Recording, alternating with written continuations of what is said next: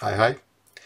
Nå skal vi se på hvordan vi kan lage egne funksjoner i Excel uten å bruke Visual Basic.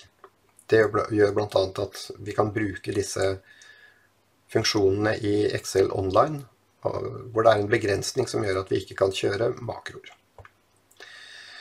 Og da har jeg en uh, formel her som uh, finner etternavnet i et hvilket som helst navn.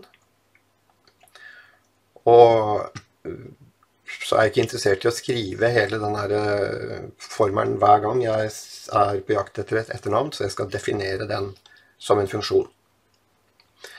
Denne muligheten den kom med den funksjonen som heter lambda. Og det vi gjør for å, å konvertere den formelen her til en funksjon, det er at vi putter hele den formelen vi har over her, inn i en lambda-funksjon. Og så skal vi jo gjøre den her generell, sånn at uansett hvor dette etternavnet står hen, så skal vi kunne finne det. Og da må vi bytte ut A2 med en variabel, det er det som inneholder verdien av det som vi skal finne. I det tilfellet her navnet. Bla, bla.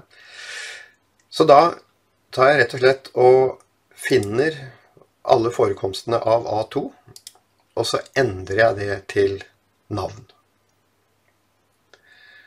Og det gjør jeg i hele formelen. Og så, når jeg skal ha dette her til å funke, så må jeg putte inn verdien som vi skal sjekke i lambda-formelen, eller som vi skal bruke, og det er A2. Og da ser vi at den formelen, deltekstformelen, den funker. Lambda-formelen, den funker også. Så da er vi klare for å definere denne formelen. Nå gjorde jeg dette i forrige opptak. Nå skal jeg bare klippe litt, og så ta bort det jeg definerte i forrige opptak. Eller kanskje vi tåler å se dette her. Ok, da tar jeg med meg alt unntatt den siste A2-en der. Kopierer jeg dette. Og så går jeg til navnbehandling og sier at jeg vil ha en ny funksjon. Eh, kaller jeg den for etternavn. Og her nede på 'refererer til' så klistrer jeg altså inn hele formelen. Nei, nei, nei, nei, nei, nei, nei, nei. nei. Må huske å trykke F2 hvis en skal drive og eh, redigere inni her. Så da ser du at her ligger hele lambda-dingsen. Og så klikker jeg OK. Og da har jeg fått en, et navn som refererer til den lambda-funksjonen. Så nå skal jeg kunne skrive er lik, er etternavn A2. Og da funker, funker formelen vår. Og noe av poenget her er jo at det navnet det skal jo kunne stå hvor som helst. Så hvis det står da i B14, så skal jeg kunne henvise til det navnet der. Og det funker fortsatt. Nå kan alle som bare var interessert i lambda, gi seg. Det. Og så skal jeg forklare hvordan vi kommer fram til etternavnet. Og uh, her har jeg satt opp de enkelte delene som vi har med i formelen her nede. Og da er det sånn at først så må vi finne hvor langt er dette navnet. Og når jeg har funnet ut det, så kan jeg sjekke hvor langt dette navnet er når jeg har tatt bort mellomrommene. Der ser du at her eh, bytter jeg ut mellomrom med ingenting.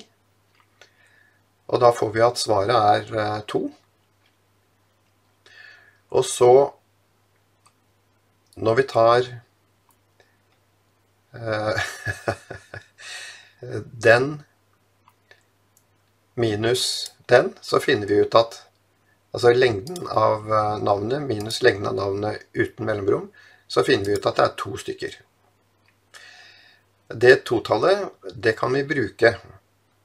For i funksjonen bytt ut, så kan jeg si hvilken av forekomstene skal byttes ut. Og da vet vi at det er to. Sånn at da bytter vi ut mellomrom nummer to med en sånn bakover, altså en backslash. Det er sjelden man bruker i et navn. Og så skal vi finne igjen hvor ble det av den siste backslashen? Jo, den havna i posisjon 15. Og så kan vi da si at jeg vil ha delteksten av Altså delteksten, altså den biten av etternavnet som starter da i den posisjonen. Og så sier jeg at uh, ja, hvis en har da et etternavn som er mer enn 100 tegn, så går dette gærent. Eller et navn som er lengre enn 100 tegn. Men det Nei. 100 tegn fra den posisjonen. Ja. Ja, ja, ja, ja, ja. Og så, eh, når jeg skal lage én formel av dette, så må jeg begynne med den siste formelen, og så må jeg bytte ut eh, B6 med den formelen som jeg har over her. Så jeg begynner jo med A2, og så altså deltekst A2, det er det vi har her. Så kommer B6. Ja, da putter jeg inn formelen i celle C6, som er bytt ut A2. Eh, og så refererer det igjen da til B4. Ja, hva er B4? Jo, det er lengden av A2 minus lengden av den bytt ut-saken. Pluss 1. Fordi vi skal uh, et, et hakk forbi den backslashen. Ja. Og det er vanskelig å sitte og forklare sånn. Prinsippet er mye enklere. Eller er det det? hvor vi altså tar alle disse formlene som vi har oppover her, og stapper dem inn én etter én i denne formelen. Skal jeg publisere dette? Ja, ja, ja. Det var et forsøk. Det var et forsøk. Ok. Lambda var det viktigste her. Så ønsker jeg deg en ukomplisert og deilig dag. Ha det bra.